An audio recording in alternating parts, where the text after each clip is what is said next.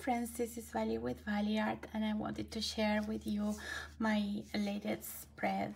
Uh, in this case, it's one that is really close to my heart. Uh, it's about my great grandparents. And uh, many times you ask me how I come about uh, with uh, these spreads and sometimes it's just getting a small detail and uh, constructing a whole um, spread or a story um, around that little um, detail. In this case, um, how um, I started the spread was with these two pictures. They were sent to me by a dear cousin uh, in Italy, and uh, he went to uh, the cemetery and um, he took pictures of um, my great grandparents uh, from their headstone. Um, I knew about them, but I never had um, seen them. So um, these pictures were really, really uh, a treasure because uh, I could put a face to the many stories I had uh, heard about them through my mom and my grandma. Um, so what I did is um, I um, tried to recreate um, how I imagined their house um, in Italy in Bolgheri. Um, so I went ahead and I painted the entrance of the house. Uh, this entrance uh, was created with uh, watercolors and um, I uh, left the door open um, in purpose, uh, on purpose, so that um, uh, it's kind of an invitation to get to know them and their story. Of course, it's not their real home, but at least we have kind of um, an idea of uh, how uh, their house looked like. And this key, um, it also has more or less a related meaning to this, and it's kind of the key that opens uh, the story um, of my family. Um, when I created this spread, I didn't know uh, the things that were uh, gonna come after um, this spread uh, came to light. Uh, but um, the key opened many doors and I will explain that later. So um, on this side of the spread I decided to work with a crossed envelope. So I cut an envelope in half and I uh, just attach it to the back of the spread. And then here I'm to create another spread and, and I'm going to cover this. But this is how it works. You open it like this and then like this and it gives you more space uh, to journal or include things so on the front here um, I added their picture and I put um, here uh, when they were born. Uh, my great grandmother was born in 1881 and my great grandfather in 1868 so uh, to give uh, like a vintage effect here and to cover also the white spaces of the envelope I use some gauze and what I did is I stained it with acrylic paint you only rub it um, in the gauze any color that you may like and you're gonna have uh, a colored gauze. Um, it takes a few minutes to dry and it gives like a vintage uh, aged look. So on the back side of uh, the envelope, the half envelope, um, I created another pocket.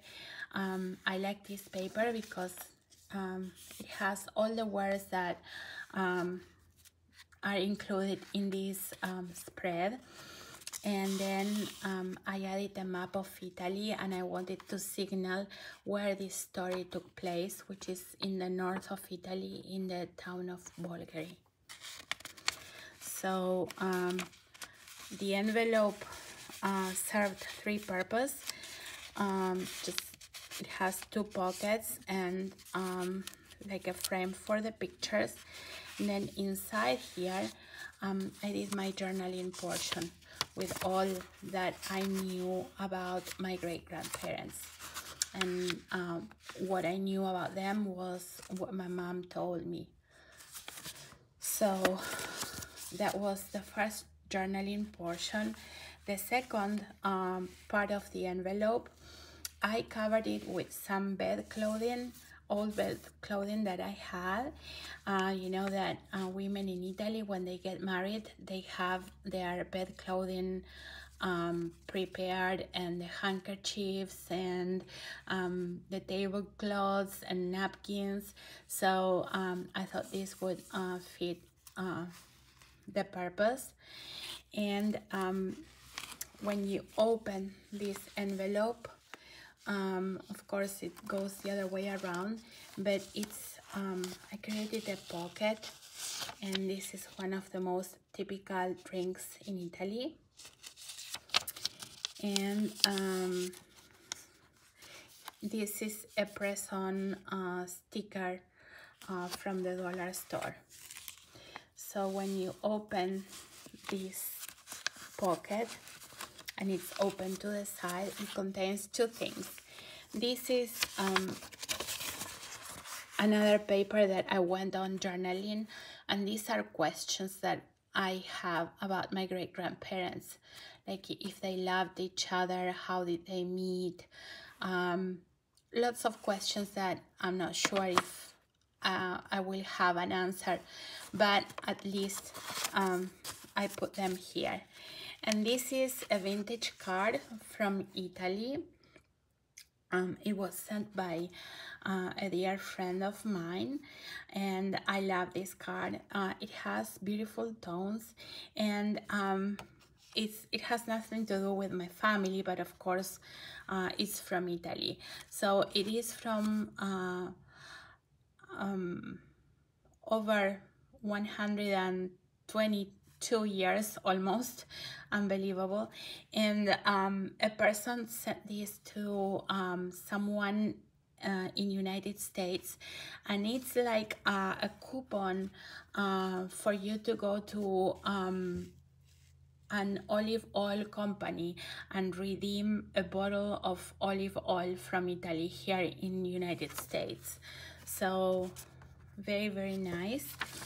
And then um, when you open this here, um, I decided to um, write something, um, some facts um, about my great grandparents.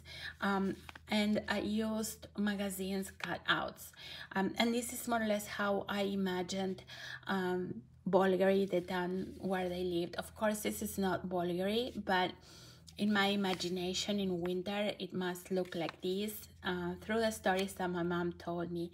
And I added to uh, and I added here some goats because I know uh, they had uh, goats. They worked uh, their land and they had different animals but uh, my mom recalls mostly her time taking care of the goats. So um, this is how the spread looks. And um, I wanted to share with you that um, I uh, when I finished the spread I shared it in a Facebook page from Italy that is not related to art. Uh, so um, when I shared it the following morning I had a message from Paris. And uh, I um, didn't know anybody from there. And to my, to my surprise the lady that uh, sent the message stated that Filippo was um, her great great grandfather. So um, I was a little bit um, surprised and maybe not believing at the first moment but then we started sharing names of our family and we realized that uh, we are um, second cousins. Uh, so um, we kept on talking and um, I, I found a great part of um, my family from uh, the side of Filippo uh, that are uh, in France. So it was a very, very emotional um, encounter um, i'm in touch now with two new cousins that i didn't know uh, that they existed. And they knew a lot about filippo. So i could um, kind of enlarge the family tree. Um, i'm working on it right now. And um, I, I got to know uh, a little bit more about their history and more members of the family from back in the day that um, I didn't know.